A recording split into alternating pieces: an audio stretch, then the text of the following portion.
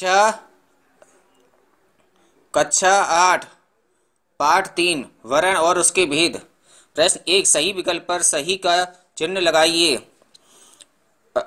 का वर्ण के ब्लैंक भेद हैं।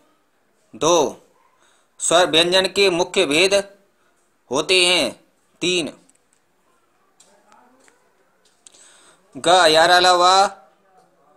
व्यंजन है, अंतस्थ व्यंजन।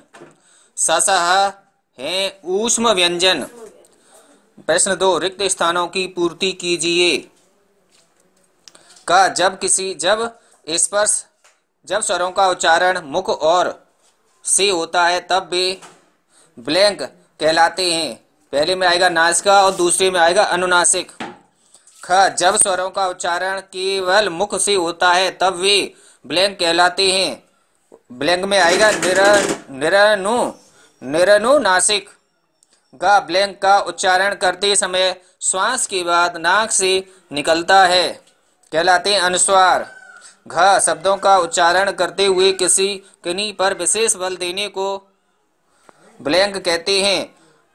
स्वराघात। प्रश्न तीन, नीचे लिखे प्रश्नों के उत्तर दीजिए। का वर्ण किसे कहते हैं? उसके प्रकार भी लिखिए।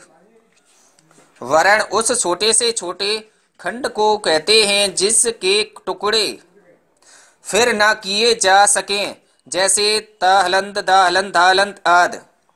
वर्ण के दो भेद हैं। नंबर एक, स्वर वर्ण, नंबर दो, व्यंजन वर्ण। ख, स्वर किसे कहते हैं? उदाहरण सहित स्वरों के भेद भी लिखिए। उत्तर, स्वर वर्ण उन्हें कहते हैं, जिनका उच्चारण बिना अन्य वर्ण की सहायता के अकेले किया जा सकता है। जैसे, अ, आ ई उ उ, री ए ओ ओ, अंग, ये ग्यारह स्वर हैं। नंबर एक, ह्रस्व स्वर, ये चार हैं, छोटा, छोटी, छोटा, उ, री नंबर दो, दीर्घ स्वर ये सात है, छोटा, आ, बड़ा, आ। बड़ी, ई, छोटा, बड़ा ऊ छोटी, ए, बड़ी है छोटा ऊ बड़ा ओ छोटी, अंग, और बड़ी, अंग। नंबर दो, प्लुत स्वर, ओम। प्रश्न तीन, ग, व्यंजन किसे कहते हैं और किसे कहते हैं और उसके कितने भेद हैं?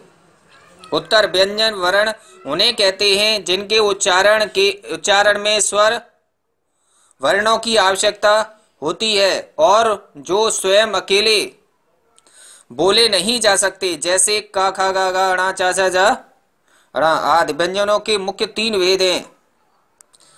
घ अनुनासिक किसे कहते हैं? उदाहरण देकर स्पष्ट कीजिए। उत्तर, अनुनासिक का उच्चारण, मुख और नासिका, दोनों के मिल, दोनों से मिलकर होता है। जैसे, हंसना, पाँच सांस गांठ आद। अड़ा स्वराघात किसे कहते हैं? उदाहरण देकर स्पष्ट कीजिए।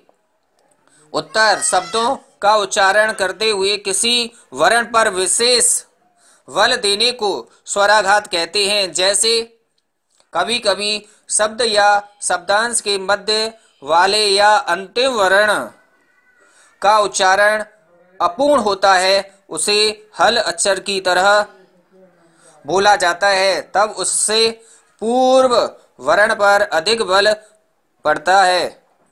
जैसे कल समय नर आदि। इनका उच्चारण का कल समय नर की तरह होता है। च, अयोग वाह किसे कहते हैं, स्पष्ट कीजिए। उत्तर, बिना किसी अन्य वर्ण के आधार लिए नहीं बोले जा सकते। अयोग वाह कहलाते हैं, जैसे छोटी अंग और बड़ी अंग।